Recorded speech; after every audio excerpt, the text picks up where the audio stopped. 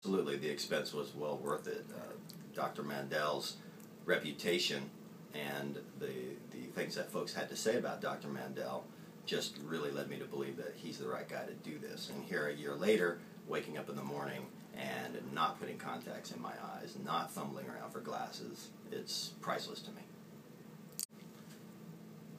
I was fearful as well.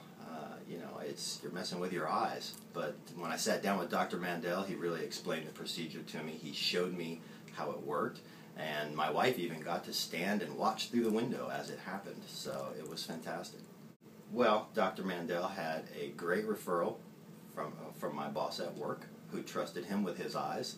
And when I came and spoke with Dr. Mandel and looked at all the other folks who had uh, posted things about their experience with him, I, there really wasn't any other choice.